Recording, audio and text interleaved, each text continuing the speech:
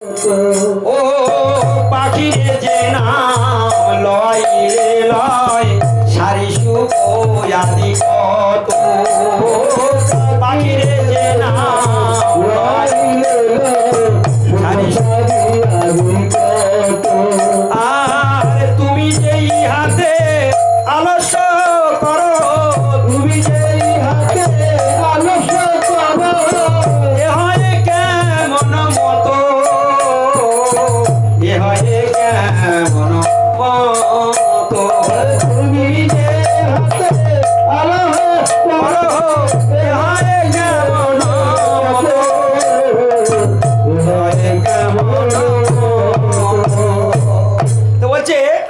মহাজন কি সুন্দর বলছে দেখুন, বলছে, পাখিরে যে নাম লোয়াইলে লয়। পাখিকে যদি হরে কৃষ্ণ শেখানো হয়, সে হরে কৃষ্ণ বলে না বলে না? এই মানুষগুলো যদি বলো, হরে কৃষ্ণ বলো, তো চুপ কথা বলে, হরে কৃষ্ণ বলো না চুপ কথা হ্যাঁ?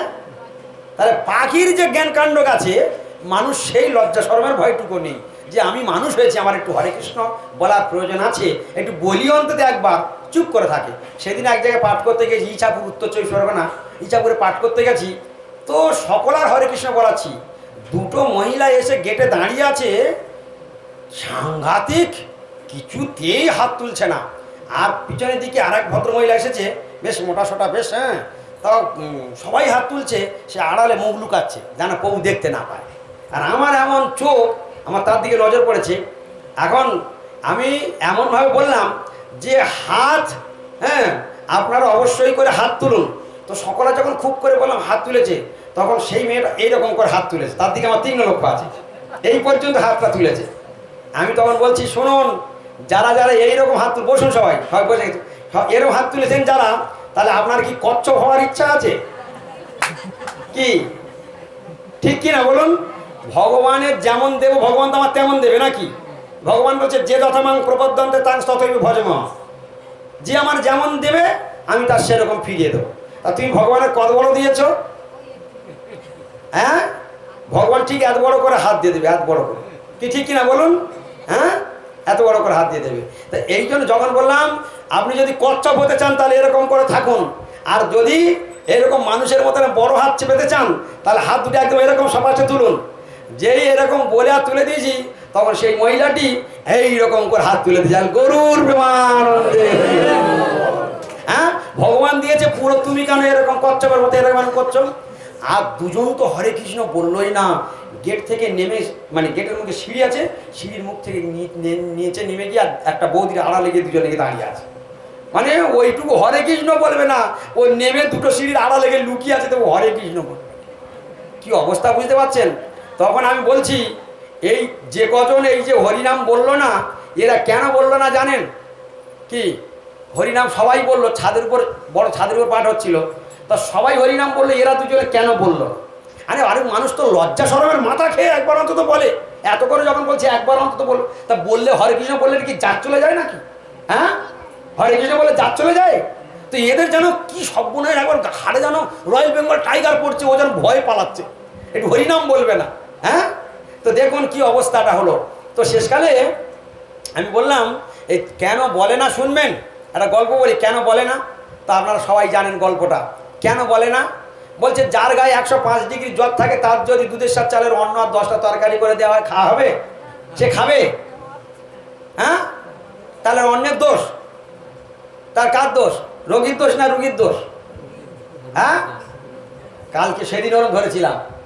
কেউ কেউ বলে রোগের দোষ, কেউ কেউ বলে রুগীর দোষ। এখন তার হাত তুলুন, কারা রোগের দোষ? রোগের দোষে দশ পনেরো জন হাত তুলেছে? আর কেউ বলে রুগীর দোষ দশ পনেরো জন হাত তুলেছে। গৌর প্রেমানন্দে হরিবার তাহলে ফিফটি ফিফটি ওদিকে সমস্ত হাফ হাফ হাত উঠে গেছে? তাহলে প্রকৃতপক্ষে কার দোষ? ওই যে রোগী জ্বর মানে ওই যে অন্নটা খাচ্ছে না হ্যাঁ? রোগের দোষ। সেই সেই রোগের দোষ আর রুগীর দোষ না ফের দ্বন্দ্ব আছে হ্যাঁ বাবা। দেখছেন তো? তাহলে আচ্ছা যাক। যারা যারা রোগের দিকে আছেন, তার হাত তুলুন দেখি, রোগের দোষ কার কার আছে? রোগের দোষ, একটা করে হাত তুলুন, দুটো করে হাত তুললে তো আমি বুঝতে পারব না। একটা করে হাত তুলুন, রোগের দোষ, এক, দুই, তিন, একটা করে হাত তুলুন, রোগের দোষ, রোগে রোগে। এক, দুই, তিন, চার, পাঁচ, ছয়, সাত, আট, নয়। এবার হাত নামান, রুগীর দোষ, হাত তুলুন। ও সেই হাফ হাফ উঠে গেছে। রোগীর দোষ আর রোগের দোষ, হাফ, প্রায় হাফ হাফ। আচ্ছা যাক শোনো এবার সমাধানে যাওয়া যাক, কি বিচার তো একটা হবে। পয় পাস ফয় ফেল। পয়ার ফ দুটো পাশাপাশি। কি হয় জয় নয় পরাজয়। পাশাপাশি। লড়াই যখন হবে, এক এক পক্ষ হারবে, এক পক্ষ জিতবে। তা দেখা যাক। এখন চলুন, যার জ্বর হয়েছে, এখন তার গায়ে সাতটা লেপ চেপে দেওয়া আছে। সাতটা লেপ চেপে দেওয়ার পরে, তবু সে ঠক ঠক করে কাঁপছে আর বলছে, আমার চেপে ধর না রে, আমার চেপে ধর না রে। তো তার উপরে আবার দুজন চেপে ধরে আছে। হ্যাঁ তবু তার শীত কমছে না। তখন তাড়াতাড়ি করে একজন একটা জ্বরের একটা ট্যাবলেট ছশো পাওয়ার ট্যাবলেট নিয়ে এসে আর ওকে খাইয়ে দিয়েছে। খাইয়ে দেওয়ার পর পনেরো মিনিট পরে, পনেরো মিনিট পরে এবারে ওর দরদর করে ঘাম আসছে। বলছে, লেপগুলো সব খোল, লেপগুলো খোল লেপগুলো খোল, পনেরো মিনিট পরে লেপগুলো খোল, সব লেপগুলো ছড়িয়ে দিয়েছে। বলছে, এবার একটু পাকার বাতাস দে, একটু বাতাস দে। হ্যাঁ দেখছেন কি না? তো পাতার বাতাসটা দিয়েছে, এবারে হাত পা ছাড়িয়ে করে কথা বলছে। তা বলছে, দেখ, শোন, এ তো শুধু জ্বরের ট্যাবলেট খাওয়ানো হয়েছে। ডাক্তার আরও সাতখানা ওষুধ আছে, তোর পেটে তো কিচ্ছু নেই। এ তো কোনো রকমে একটু যাক, দুটো মুড়ি গালে দিয়ে ওষুধটা খাওয়ানো হলো। একটু অন্ন না খেলে তো তোর তো আর ওষুধ খাওয়াতেই পারব না। তুই এই অন্ন এনে রেখেছি, সেই দুধের সাথে চালের অন্ন আর সেই তরকারি। এবারে ওকে গালে দিচ্ছে। হ্যাঁ আরও দশ পনেরো গাল খেয়ে নিল টুক টুক টুক টুক করে। গৌর প্রেমানন্দে। তাহলে আগে খেলো না, এখন খেলো কি করে? সেই অন্নটাই তো ওখানে বসানো ছিল। এ পনেরো মিনিট আগের গল্প আর পনেরো মিনিট পরের গল্প। তাহলে কে এখানে কে খেতে দিচ্ছিল না? কে খেতে দিচ্ছিল না? জ্বর। অর্থাৎ রোগ। রোগ ওকে খেতে দিচ্ছিল না। রোগটা ট্যাবলেট খাইয়ে রোগটা তাড়িয়ে দেওয়া হলো। রুগী অন্নটা খেয়ে। তাহলে মাঝখানে পাঁচিল হয়ে গেছিল কোনটা? রোগ। তা একদিকে আছে মানুষ, একদিকে আছে হরিনাম। হ্যাঁ? একদিকে আছে মানুষ অর্থাৎ এখানে রোগটা কোনটা? রোগ হচ্ছে পাপ। আর রোগীকে মানুষ আর অন্য অর্থাৎ ঔষধ হচ্ছে হরিনাম। তাহলে এখানে যিনি হরিনাম বলবেন মানুষ সেও আছে আর এখানে হরিনাম আছে। যেমন ওখানে রোগী শুয়ে আছে বিছানায় ওদিকে টুলে আছে অন্ন। আর মাঝখানে পাঁচিল হয়ে গেছে কে? জ্বর। তাহলে ওই মানুষটা হরিনাম বলছে না কেন? ঠিক যেমন জ্বর ওকে খেতে দিচ্ছিল না এখানে ওর এত বিপুল পরিমাণ পাপ আছে ওর মুখে হরিনাম উচ্চারণই হচ্ছে না। হরিনাম উচ্চারণ কথাটা বুঝতে পেরেছেন? সেই জন্য সকলেই আমাদের হরিনাম করা উচিত। সবাই মিলে বলুন হরে কৃষ্ণ! হরে কৃষ্ণ! এর মধ্যে আমার যারা যারা ভরম কমিয়ে রেখে তাদের পাপ আছে।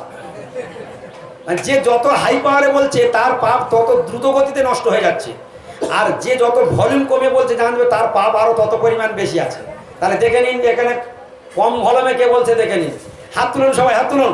যার যার হাত আছে তুলুন, যার যার হাত দেয়নি তুলবেন না, যার যার কচ্ছ ভাবার ইচ্ছা আছে অল্প করে তুলুন। হরিবল ফুল ফুল তুলে দিন, একদম পুরো সারেন্ডার হাত যেন বেঁকে না থাকে। দেখুন আমার দিকে তাকান না হয়, দেখতে না পান, আমার দিকে তাকান। বলুন, হরে কৃষ্ণ! কৃষ্ণ। হরে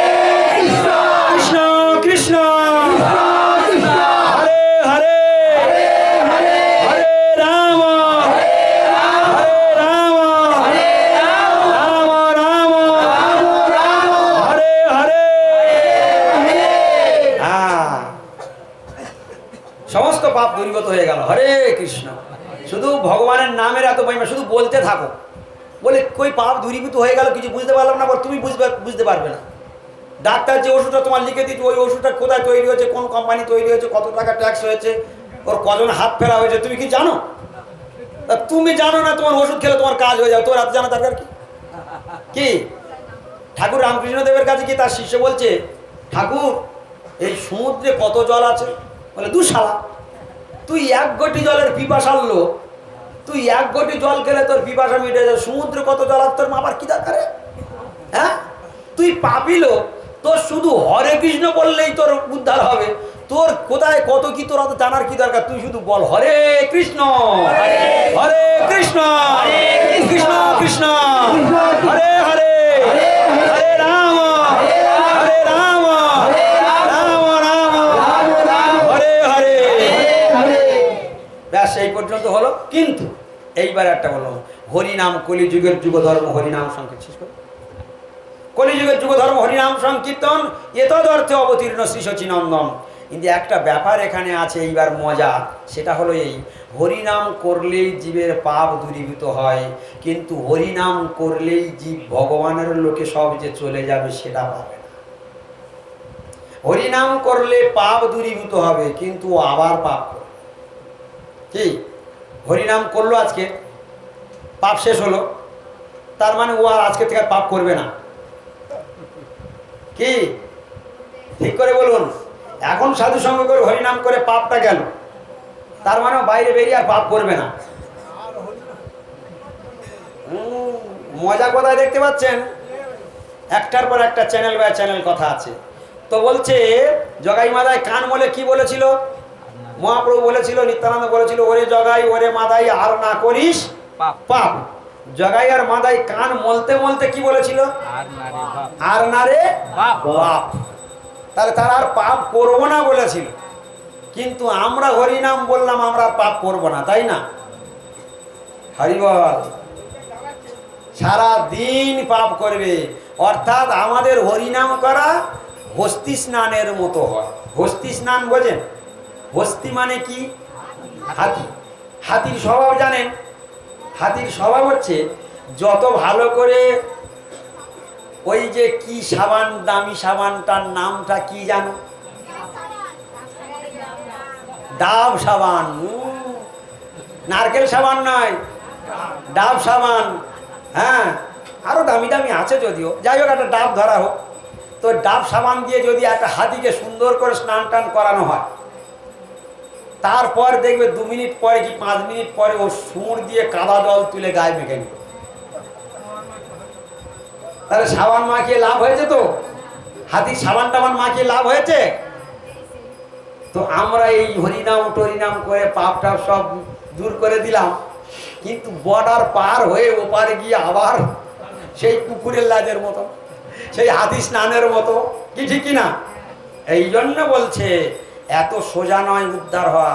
আজকে সাধু সঙ্গে শ্রবণ করলে যা, ওইগুলো মনে রেখে পালন করবার চেষ্টা কর।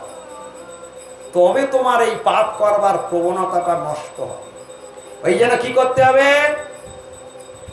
ভালো করে শুনুন, প্রহ্লাদ মহারাজ ভাগবতে বলছে, নৈশাং মতি স্তাবদুরু ক্রমাঙ্গিং স্পৃশতি অনর্থ অপগম যদর্থ আর ভালো করে শুনুন, প্রহ্লাদ মহারাজ এবার আমাদের কি উপদেশ দিচ্ছে? নৈশাং মতি স্তাবদ উরুপ ক্রমাঙ্গি নৈশাং মতি স্তাবদ উরুপ ক্রমাঙ্গি স্পৃশতি অনর্থ অপগম যদর্থ মই অসাং পাদরাজম অভিষেকং নিষ্কিঞ্চনানাং নবৃণীত যাবৎ। কি কথা বললেন? প্রহ্লাদ মহারাজ উপদেশ দিচ্ছেন। এতক্ষণ যে পর্যন্ত শুনে এসেছি, তারপর প্রহ্লাদ মহারাজ, এর পরের উত্তরটা প্রহ্লাদ মহারাজের কাছ থেকে শুনব। শোনা দরকার আছে না নি কি করলে ভগবানের কাছে যাওয়া যাবে? কি করলে ভগবানকে পাওয়া যাবে? সেই উপদেশটা কার মুখ থেকে শুনব এখন? প্রহ্লাদ মহারাজের উপদেশ আমাদের গ্রহণ করার প্রয়োজন আছে না নেই বলছে, এত কথা তো সাধুর কাছে শুনলাম, তবু কিন্তু ভগবানে মতি হবে প্রহ্লাদ বলছে নৈশাং মতি, তাবৎ উরুক্রমাঙ্গি প্রহ্লাদ মহারাজ বলছে নৈশাং মতি তাবৎ উরুক্রমাঙ্গি ততদিন পর্যন্ত ভগবান উরুক্রম অর্থাৎ কৃষ্ণচন্দ্রের চরণে মতি হবে না। ততদিন। কতদিন? নৈসাংমতি স্তাবদুরুক্রমাঙ্গি স্পৃশতি অনর্থ অপগম যদর্থ। ভগবানের সমস্ত অনর্থ নাশ হোক ভগবান শ্রীকৃষ্ণের পাদ পদ্ম স্পর্শ করতে পারবে না এই জগতের জীব। যতদিন না ময়ী অসাং পাদরজং নিষ্কিঞ্চনানাং নবৃণীত যাবৎ।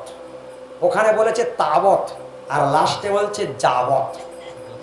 তাবৎ মানে ততদিন আর যাবৎ মানে যতদিন। যতদিন। তাহলে ততদিন ভগবান কৃষ্ণচন্দ্রের চরণ স্পর্শ করতে পারবে না। ভগবান কৃষ্ণে মতি হবে না। বলছে প্রহ্লাদ মহারাজ বললেন নৈশাং মতি। নৈশাং মতি মানে মতি হবে না। কতদিন? তাবৎ। ততদিন। ততদিন ভগবানের মতি হবে না। যতই আমি তেল পড়া দিই আর জল পড়া দিই, ততদিন ভগবানের মতি হবে না। বলছে, মহিয়সাং পাদরজং অভিষেকম নিষ্কিঞ্চনানাং নবৃত যাব যতদিন না পর্যন্ত নিষ্কিঞ্চন পরমা পরম মহাত্মা সাধুর চরণ ধুলি আমার মস্তকে উদিত না হবে উত্থিত না হবে ততদিন পর্যন্ত পরমেশ্বর ভগবান কৃষ্ণচন্দ্রের মতি হবে না হবে না হবে। তাহলে এই সত্যবাণীটা কার মুখ থেকে শুনলাম? এখন সেই মহাত্মা সেই নিষ্কিঞ্চন মহাভাগবতকে আমি কোথায় পাবো? সেই নিষ্কিঞ্চন মহাভাগবতকে আমি কোথায় পাবো? বলছে, সেই নিষ্কিঞ্চন মহাভাগবত দেখুন আপনাদের সামনে বসে রয়েছে। দেখুন, আলোক্য রূপে তিনি বসে রয়েছেন। দেখতে পাচ্ছেন? গুরুদেবের ছবি দেখতে পাচ্ছেন? হ্যাঁ? ওই সেই নিষ্কিঞ্চনা নাম, ওই সেই মহিম অসাং উনি কি? মহি অসাং মানে পরমতম মহাত্মা। উনি সেই নিষ্কিঞ্চন সাধু। তাহলে মহি অসাং পাদরজম অভিষেকম নিষ্কিঞ্চনাং ন বৃণীত যাব ন বৃণীত যাব যতদিন না পর্যন্ত ওই মহাত্মা সাধুর চরণধুলি আমার মস্তকে উত্থিত হবে, ততদিন আমার এই সংসার বন্ধন থেকে মুক্ত হতে পারব না এবং কৃষ্ণে আমাদের মতি হবে না। এই কি করে যাবেন ওনার কাছে? ওখানে যাওয়ার শক্তি সকল আর নাই। ওখানে গেলেও আপনি পাত্তা পাবেন না। এখন কি করতে হবে? ওই নিষ্কিঞ্চনানাং সাধুর কাছে যদি পঞ্চাতে হয়, তাহলে অবশ্যই করে এই গ্রামে তার শিষ্য যে সমস্ত সাধুরা রয়েছে, তাদেরকেই আগে ধরতে হবে। আজকে তার দূত হয়ে আমরা এখানে এসেছি। আজকের আমরা এখানে হরি কথা বলছি, কার দূত হয়ে এসেছি? আমাদের কে পাঠিয়েছে? গুরুবর্গ আমাদের পাঠিয়েছে। যাও, গ্রামে গঞ্জে শহরে নগরে এই গুরু গৌরাঙ্গের বাণী প্রচার করে এসো। আজকের এতগুলো কথা কেন বলা হচ্ছে?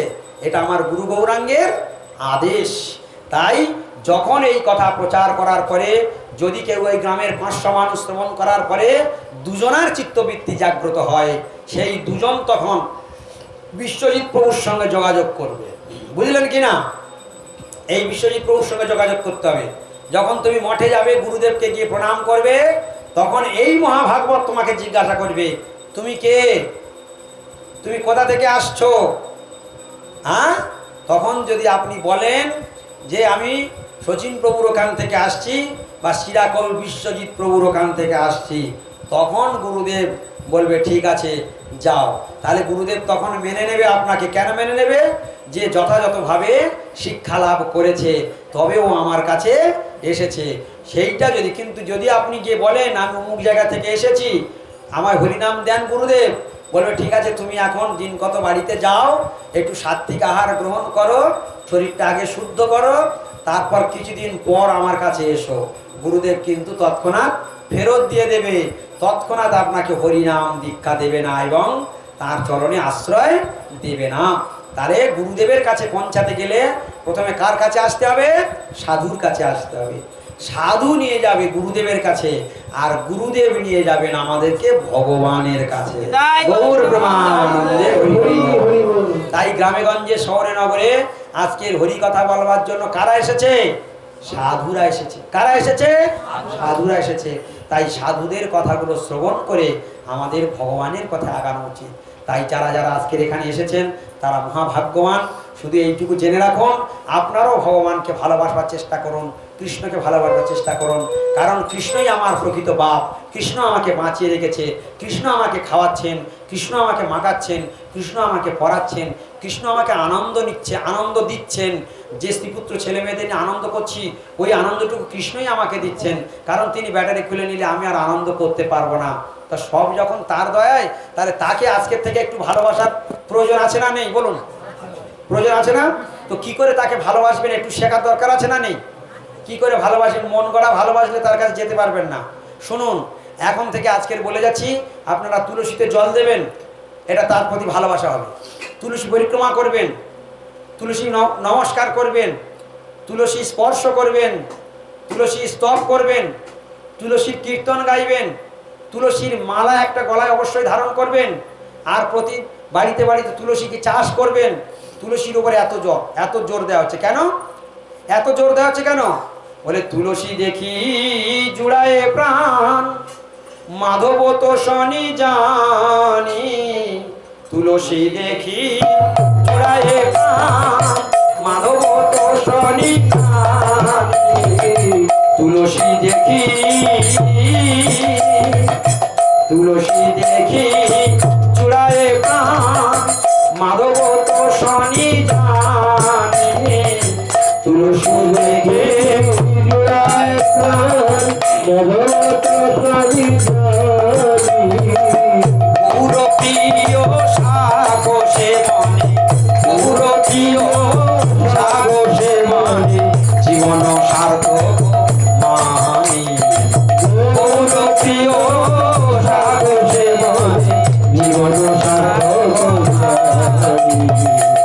তুলসী দেখি চূড়ায় প্রাণ মাধব তো শনি জানি। তাহলে তুলসী মহারানীকে সেবা করলে ধীরে ধীরে কার প্রিয় হয়ে যাব আমরা? সবাই জোরে বলুন এবারে। তুলসীর যদি সেবা করি কার প্রিয় হব? গোবিন্দের সেবা গোবিন্দের কৃপা লাভ করব। গোবিন্দ আমাদের প্রতি প্রসন্ন হয়ে যাবে। ভগবান মাধব আমাদের প্রতি প্রসন্ন হবেন। তাহলে তুলসী সেবা করলেই গোবিন্দ খুশি হয়।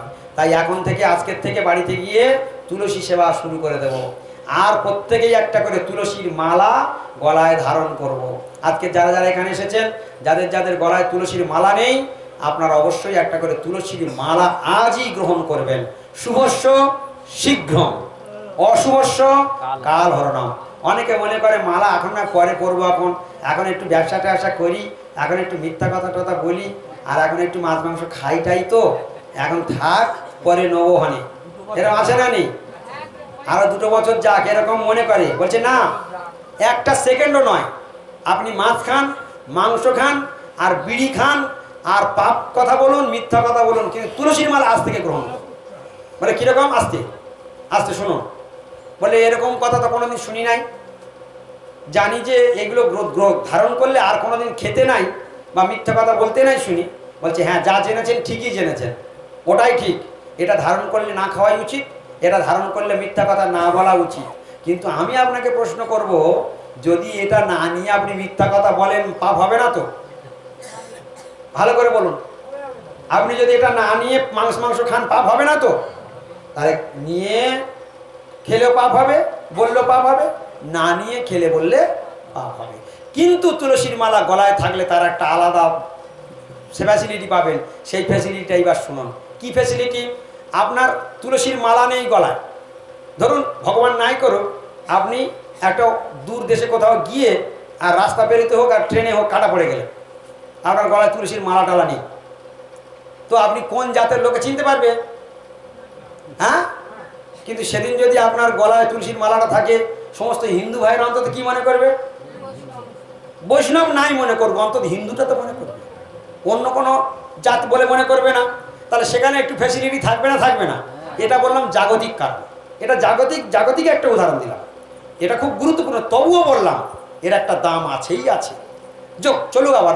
বলছে, আপনি অনেক এক লক্ষ, দু লক্ষ টাকা দামের সোনার হাত যদি আপনি গলায় পরে থাকেন, তো বলছে জমে ঠ্যাঙে দড়ি বেঁধে টানতে টানতে নিয়ে যান।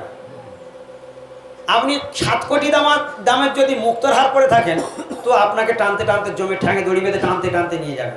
কিন্তু একটা তুলসীর মালা যদি গলায় থাকে আপনার হ্যাঁ একটা তুলসীর মালা যদি আপনার গলায় থাকে, তো জম তো আপনাকে স্পর্শ করা দূরের কথা, আপনাকে দূর থেকে প্রণাম করে পালিয়ে যাবে। গৌর প্রেমানন্দে। তাহলে এত বড় শক্তিটা কে ধরলো? তুলসীর মালা। এখন আপনি তুলসীর মালা গলায় দিয়ে যদি আপনার পাড়ার লোকগুলো কামড়ায়, আপনি কি করবেন? ওরা তো ঘরের খেয়ে এসে কামড়াবে। কি? আপনি তুলসীর মালা পড়লে ওরা আপনাকে কামড়াবে না? কামড়াবে, কিন্তু আপনার সে লজ্জা করলে হবে না। ওদের কথায় কিছু যায় আসে না। যে এসেছি একা, আর যাব একা, আর যেদিন কাঠগড়ায় আমাকে তুলে বিচারের ফাঁদে দাঁড় করাবে, সেদিন কে? একা। কৈফিয়তটা কাকে দিতে হবে? আমাকে দিতে হবে। তাহলে চাচা আপন প্রাণ, বাঁচা। কে কি বলল, না বলল, তাতে আমার কিচ্ছু যায় না, আসে না।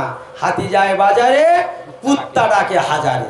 হাজার কুত্তা ঘেউ ঘেউ করে যত ডাকুক না কেন, তুলসীর মালা আমি পরবই পরবো, আর মৃত্যুর আগের দিন পর্যন্ত তুলসীর মালা আর খুলব না। এই রকম প্রতিজ্ঞা করলে কার সেবা আরম্ভ হলো? ভগবানের সেবা আরম্ভ হলো। তাহলে তুলসীর সম্বন্ধে বলা হলো। এবার বলছি, একাদশী ব্রত আপনারা সবাই করবেন, সামনের দিন। সব কৃষ্ণের জন্য বলছি। বাড়িতে থেকে করে তিলকমালা ঝোলা, এক্ষুনি দরকার নেই। এক্ষুনি তিলকমালা ঝোলার দরকার নেই। কিন্তু বাড়িতে থেকে এটুকু মিনিমাম না করলে পেটনের হাত থেকে বাঁচতে পারবে না। মারের ভয় কার নেই বাবা? হ্যাঁ পেটনের সকালে পেটনে ভয় আছে? বলছে, যে কটা আমি বলে যাচ্ছি, এই কটা যদি করতে পারেন তো জমের পেটন আর খেতে হবে না। তো পেটন যদি না খাতে খেতে চান, তাহলে এগুলো পালন করবেন। তুলসীকে যা বললাম, তুলসী কি করো? জল দেওয়া, তুলসী পরিক্রমা করা, তুলসী নমস্কার করা, তুলসী স্পর্শ করা, তুলসীর ঘ্রাণ নেওয়া, তুলসীর চাষ করা, তুলসীর মালা, গলায় পরা এই সবগুলো প্রত্যেক দিন করতে হবে, প্রত্যেক দিন। আর একাদশী ব্রত, অবশ্যই মাসে দুটো একাদশী ব্রত করতে হবে। যারা এখন মাছ মাংস খান, আগের দিনে নিরামিষ খাবেন, পরের দিন নিরামিষ খাবেন। একাদশীর আগের দিন, আর পরের দিন নিরামিষ খাবেন। আর আলু, কাঁচকলা, পেঁপে, কুমড়ো, এই অনুকল্প ফল, এইটুকু খেয়ে একাদশী করে দেবেন। ব্যাস, ভগবানের দিকে আগাচ্ছি। এইটুকু আরম্ভ হয়ে গেলে কী হচ্ছে? ভগবানের দিকে আমরা আগাতে শুরু করে দিয়েছি। তুলসীর সেবা আরম্ভ হয়ে গেছে, ভগবানের দিকে শুরু করেছি। ভগবানের যাত্রা শুরু হয়ে গেছে, ভগবানের দিকে যাত্রা শুরু হয়ে গেছে। একাদশী ব্রত আরম্ভ করেছি, ভগবানের দিকে যাত্রা শুরু হয়ে গেছে। এই গেল বিধি। এবার চারটে নিষেধ আছে। এই চারটে নিষেধ পালন করলেও ভগবানের দিকে আগাবো কি কি? তাসপাশা জুয়া খেলব না, কোনো নেশা করব না, অবৈধ মেলামেশা করব না, আর কি? জীব হত্যা, জীব হিংসা করব না। ব্যাস, এই চারটে নিষেধ শাস্ত্রে আছে। এই চারটে নিষেধ পালন করলে ভগবানের প্রিয় হয়ে যাবেন আর এইগুলো বিধিগুলো পালন করলে ভগবানের প্রিয় হয়ে যাবেন। এই করতে করতে সাধুর সঙ্গে দেখা হয়ে যাবে। সাধু আপনাকে এই যে প্রহ্লাদ মহারাজ বললেন, প্রহ্লাদ মহারাজ কি বললেন? নিষ্কিঞ্চন অবৃণীত যাবত ওই নিষ্কিঞ্চন সাধুর সঙ্গে আপনাকে যুক্ত করে দেবে গ্রামের এই সাধু। শিষ্য সাধু গুরুদেবের কাছে নিয়ে চলে যাবে। আর গুরুদেব তার চরণে আশ্রয় দিয়ে সেদিন থেকে আমাকে অর্ডার দেবেন আজ থেকে তোমার সংসারে যা রান্না হবে, যা কিছু ভগবানের কৃপায় জুটবে, সব ভগবানকে দিয়ে খাবে। আর কোনোদিন চুরি করে খাবে না। সেই দিন থেকে আমার গোলক যাত্রা শুরু হয়ে গেল এবং গুরুদেবের, গুরুদেব হচ্ছে জাহাজের ক্যাপ্টেন। গুরুদেব হচ্ছে টাইটানিক জাহাজের ক্যাপ্টেন, বুঝলেন কি না? বলে, যাই, টাইটানিক তো ডুবে গেল। বলে, এ সে টাইটানিক নয়, এ হচ্ছে চিন্ময় জাহাজ, এ টাইটানিক তো জাগতিক জাহাজ, বুঝলেন কি না? আর আমার গুরুদেব যে জাহাজের ক্যাপ্টেন, এ জাহাজ কোনোদিন কোনো কালে ডোবে না। কারণ গোলক, গুরুদেব এসেছে, গোলক থেকে, আমার গুরুদেব বলতেন, আমি গোলক থেকে লিফট নিয়ে এসেছি, তোমরা শুধু তাতে উঠে বসো। আমার গুরুদেব এই কথা বলতেন, আমি গোলক থেকে লিফট নিয়ে এসেছি, তোমরা শুধু তাতে উঠে বসো, তোমাদের কোনো টেনশান নেই। তো আমরা সেই লিফটে উঠে যাব। যেদিন এখান থেকে এই আচরণগুলো করতে করতে সাধুর সঙ্গ ধরে বাগবাজার মঠে যাব। চলুন, সামনে